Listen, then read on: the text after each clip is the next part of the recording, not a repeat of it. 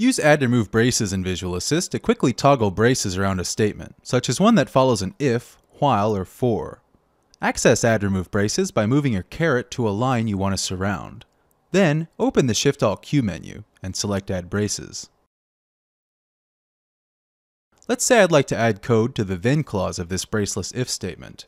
Add remove braces is available only for single statements, so the trick is to add braces to the one statement and then move the extra code into the scope. Add remove braces is also a convenient way to adhere to a style guideline that requires braces on all if statements. Here in this terrain source file, I need to add braces to all of these if statements. Because I'm going to use add remove braces a lot, I'll assign a keyboard shortcut to the command.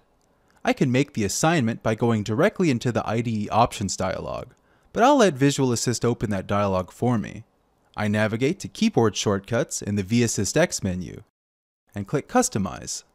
I could scroll the list, but I see the Braces commands right at the top. I'll assign Shift-Alt-Z to Braces Toggle. Now, back in my source file, I quickly add and remove braces.